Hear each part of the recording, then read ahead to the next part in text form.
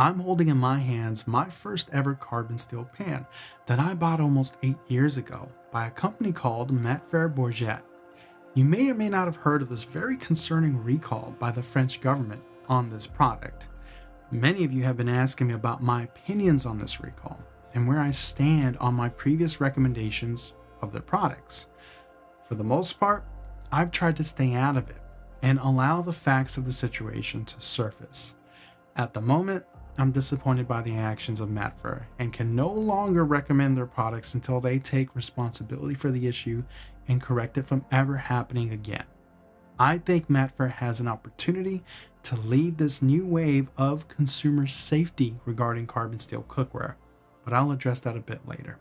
So, what happened? What is this recall about?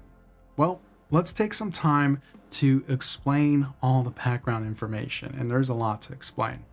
In April, certain batches of the carbon steel pans or skillets, which were made by the company Matfer, had been recalled in France. Certain lots or batches of Matfer's black steel carbon steel pans were tested in France, where they're manufactured by a regional regulatory agency, the DDPP. The agency found that when mild acidic solutions were heated in the pan from these batches, arsenic, chromium, and iron leached out in excess of the standards recommended by the European Union. Because all three of these metals are considered very harmful to humans at levels found, the skillets were recalled in France. Matfer has appealed this decision and maintains that their skillets comply with safety and testing standards. So you're probably asking yourself, have these skillets been recalled in the United States? No. Here's the crazy thing. The United States does not have clear standards that dictate just how much certain toxic metals, such as arsenic and chromium, can be present in cookware or released into food, such as how the European Union does. While there is a general expectation that cookware should be safe, and what the Food and Drug Administration calls of a purity suitable for intended use. The FDA does not provide guidelines on what that purity might be. It also doesn't require manufacturers to submit proof that their products won't release toxic metals into their pans or food. Now, when I investigated a bit further, the FDA did say that they will review pan formulations for suitability upon request, but otherwise does not do it routinely. That sounds pretty alarming to me. It's basically on the cookware manufacturers themselves to ensure that their products are safe. And to be fair, many companies do by employing third party laboratories to ensure that their products meet basic standards. So, in the US, essentially, it's the honor system. If a company finds out that their product is unsafe, it's up to them to voluntarily recall it from the American market. If you bought a carbon steel skillet from Matfer recently, and still have the packaging, you can actually check the lot number. I'll put links in the description of this video along with the lot numbers for you to reference. So let's talk about how toxic are we talking? The World Health Organization considers arsenic to be one of the top 10 chemicals of public health concern. Long term exposure can increase your risk of lung, bladder, and skin cancer, and it's also associated with developmental effects, diabetes, and cardiovascular disease. Chromium is linked to a higher risk of various heart and liver ailments, but it also has been linked to various neurodevelopmental disorders. Now, to be fair, cookware is not likely to be the biggest source of exposure to either arsenic or chromium. Food and water poses a much greater risk because arsenic is present in soil, for example, and it can easily get into water supplies. It's also taken up in large amounts by certain common foods, including rice or even apple juice. Still, the risk posed by arsenic and chromium in cookware are cumulative. You may not be able to eliminate all contact with them, but as with most toxic substance, it's best to reduce exposure and use safe cookware whenever possible. So why can I no longer recommend Matfer my first ever carbon steel pan. It's simple. I cannot recommend a skillet that potentially contains arsenic and may leach elevated levels of chromium. And to be fair, the contamination is limited to certain batches of Matfer skillets. But the findings by the French agency are extremely concerning, and the lack of clear regulatory guidance in the United States is also very alarming. Furthermore, Matfer has declined to remove the products from the affected batches from the US market. But for me, it gets worse because of how Matfer is handling the situation and has made me lose faith in its ability to put safety for its consumers first. Matfer has released several posts on social media addressing the issue. The first few posts were kind of childish with emojis and gave this feeling that they weren't necessarily taking this very seriously. Eventually, they did release a statement without emojis, which seemed to be very serious, but they placed the blame on their material suppliers, the regulatory agency themselves, and the testing procedure that they used, and even us, the consumers. Again, I'm going to post a link of their statement in the description of this video for you to read for yourself. Matfer has tried to place the blame on consumers by updating their product page to include new verbiage, and I'm quoting, not intended for use with acidic ingredients, lemon juice, vinegar, tomato sauce, etc. The problem is, if you look on the archive pages, and you can do this by going to archive.org, the verbiage was not there previously, and it's clearly bait and switch. Now, I wanted to read a quote directly from Matfer. Every Matfer Bourgeat black carbon steel pan includes explicit instructions to avoid acidic foods in their uses.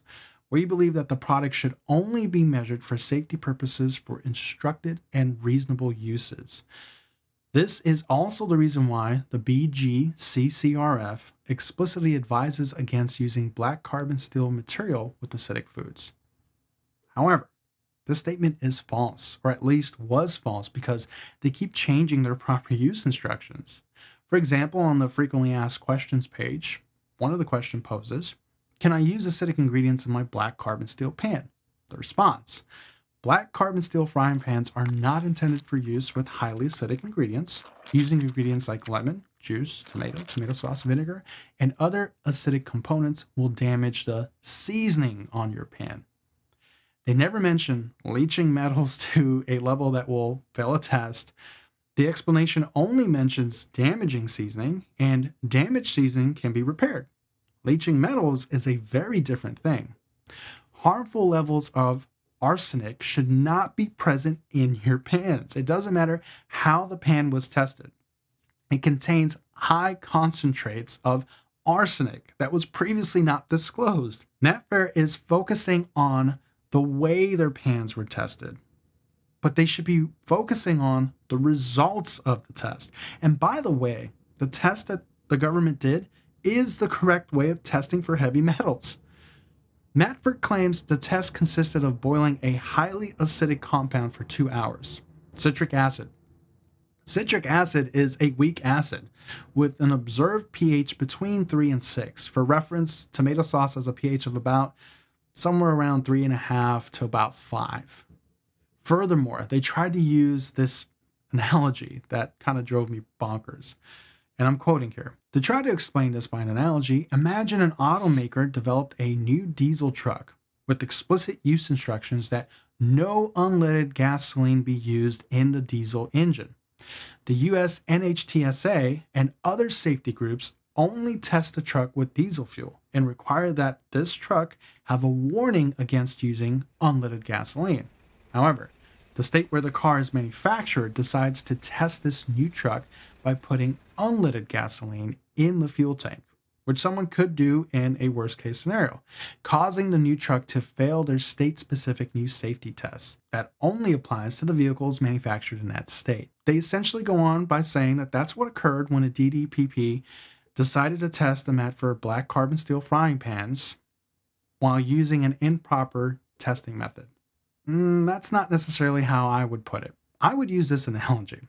Imagine an automaker developed a new diesel truck with explicit use instructions that the truck could only be driven on streets. No highway driving was allowed, even for short amounts of time, because the higher the speeds will essentially make the truck fall apart. and expose the driver to direct fumes which would be redirected into the cabin, poisoning the driver. That's basically what we're talking here. Matfer keeps implying that there's a safety risk if you cook with tomato or lemon, which shows that they don't have faith that there might not be a risk in the metals themselves. The consumer should not have to rely on a layer of polymerized oil to shield themselves from arsenic and chromium. If all that's protecting the consumer is their ability to maintain a flawless layer of seasoning, then these products should not be sold, and I agree with the recall. Seasoning was never intended to be a safety layer to prevent harmful arsenic and chromium from leaching. Just like seasoning was never intended to be a nonstick solution, but rather a positive secondary outcome of its primary goal, which is to protect the pan from bad rust or oxidation. It was never intended to protect you, the user, from harmful leaching. So, using Matfer's logic, now all of a sudden I can't throw a tomato in my carbon steel pan in fears of poisoning myself and dangerously elevating my risk of cancer and other health concerns. Besides, on Matfer's own website, they are showcasing a campfire paella recipe, which has acidic ingredients. You can clearly see them pouring tomato juice in the carbon steel pans. Furthermore, going through the recipe, you can see that they're calling for lemon juice and tomato and simmering the juice and the marinades and bringing them to a boil and all these things. I mean, does it actually sound like to you that their carbon steel pans are absolutely not intended to be used with any acidity whatsoever? Foods are often characterized as either acidic or basic, but it's not always cut and dry like that. There are foods out there that are acidic to some degree. This would make their product very niche and almost useless, which is not fair to carbon steel. So this brings me to my last point. What other companies are following this flawed logic of only test our pans for harmful arsenic and chromium leaching when there's several layers of seasoning present? Oh, and by the way, our pans are never intended to be used with any acidic food, so you can't use acidic compounds in your test either. This pan here is my favorite carbon steel pan, the DeBeyer or De Boyer Mineral B. Now, I'm wondering if this pan's safe. De Buyer also states to avoid cooking with acidic foods in carbon steel as it strips the seasoning. Again, I agree with that statement.